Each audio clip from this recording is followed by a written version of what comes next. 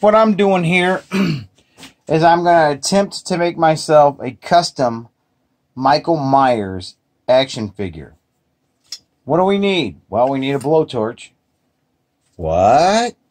We're going to burn Action Jackson's face? No, we're not. so, this is a piece of cellophane. You see that? What I did was I heated it. See that? Heated it. And it got real pliable. And I threw it over Action Jackson's face. What am I using? You recognize that? That is a blister pack from a 2018 Mego Star Trek figure. And never mind my workroom. This is my workroom.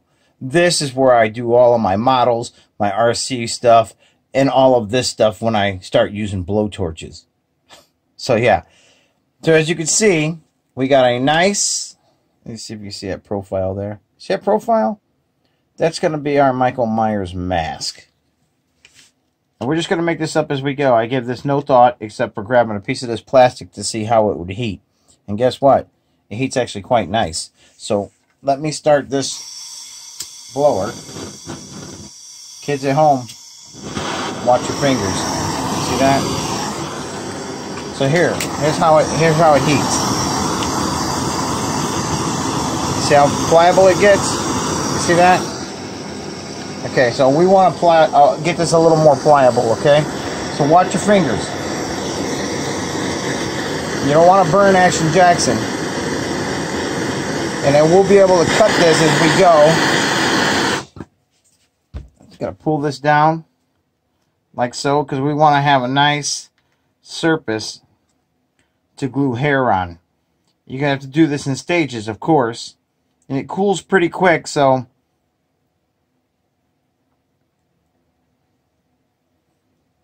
Let's have a look here. You see, as we go, we start to get a full mask. So we're going to heat these now, maybe one at a time.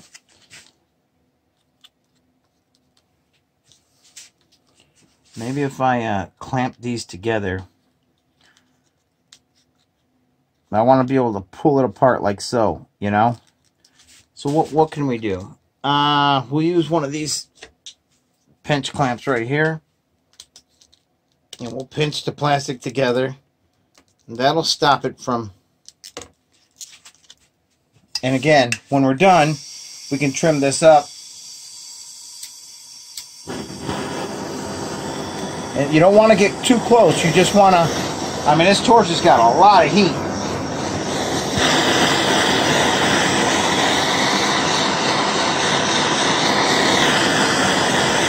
This is my ho own home homemade vacuum form, you know. And again, I don't want to seal the back of the head because all of that's going to get cut off. I just need this here and this area here to glue hair to. Hair. What am I going to use for hair? Well, you know, I take this one step at a time, so. And what I do want, though, is to make sure that this actually clamps on here so I can take it off. Not that I want to take it off. I mean, he's just an Action Jackson, right? So, take this clamp off, slide that over there, and there is our basic. Let me see if I can get that in focus there. See that? This is our basic mask. I want to see if I can get this end here a little folded under. But you can see how nice it fits. Like so. So you know what? Let me get my clamp back on here because I want to try to hold this in place as much as possible.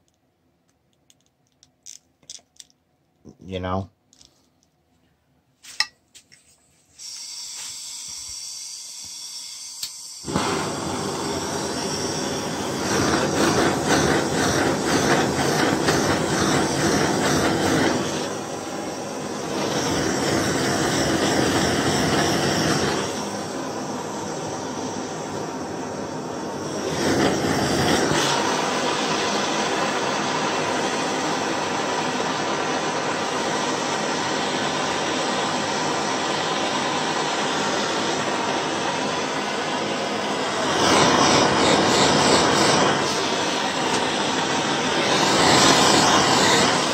Too much.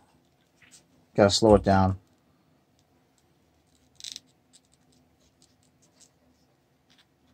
That cool. Okay.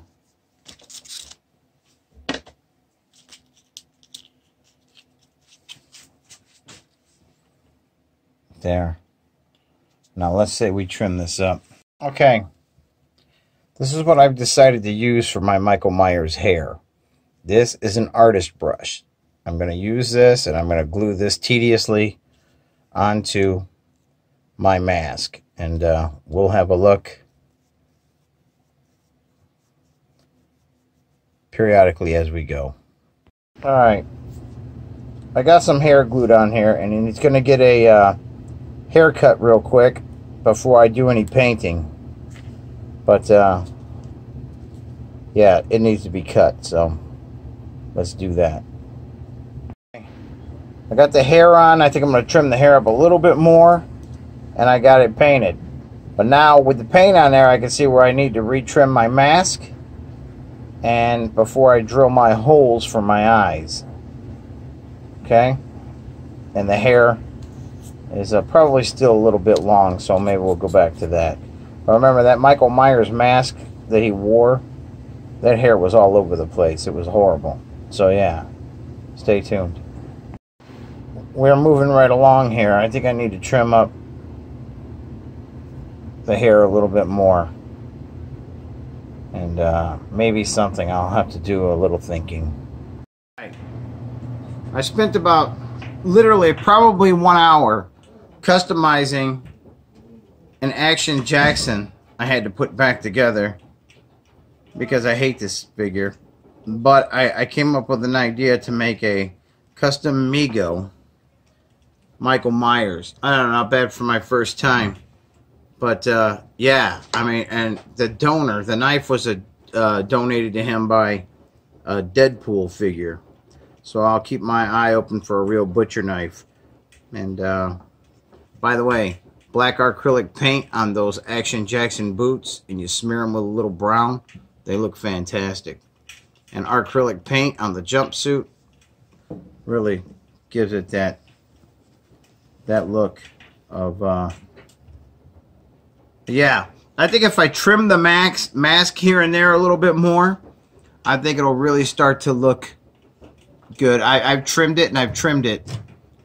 And uh you know, I'll, I'll play with it over time. But again, Action Jackson has proven to be a really good figure that you could mess around with. And uh, not only is he good for donating parts, he's actually good for stuff like this. So yeah, that was a fun little product project for uh, a Sunday afternoon. So yeah, just stand him up here, and uh, get his arm way up here like so. Now all I need to do is get a tootie or something so he could be holding her head because he cut it off. You know, that'd be kind of cool. But anyway, Howlin' Wolf out.